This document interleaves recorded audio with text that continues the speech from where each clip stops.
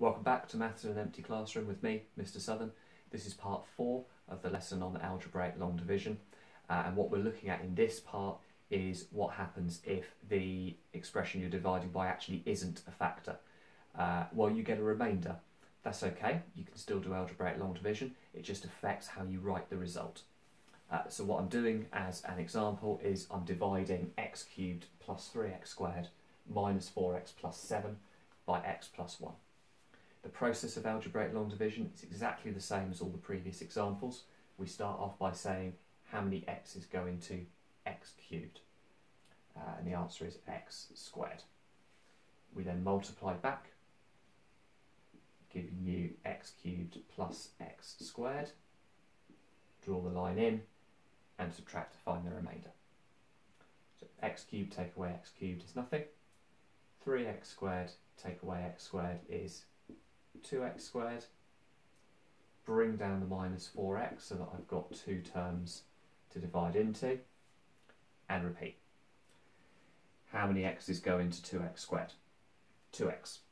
So write plus 2x at the top and then multiply back. 2x times x, 2x squared. 2x times 1 is plus 2x. Draw in the line to find the remainder. Negative 4x, take away 2x, is negative 6x. Going further into the negatives, bring the plus 7 down so that I've got two terms for my next stage of division. And repeat. How many times does x go into negative 6x? Well, minus 6, negative 6. Multiply back negative 6x minus 6. Now, here's the bit where we get the remainder. You may see this coming. Negative 6x take negative 6x, nothing, that's fine. But positive 7 take negative 6 is positive 13.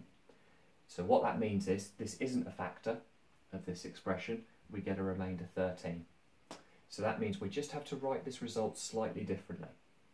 We would write that x cubed plus 3x squared minus 4x plus 7, which is our original expression, can be written as x plus 1 times by x squared plus 2x minus 6.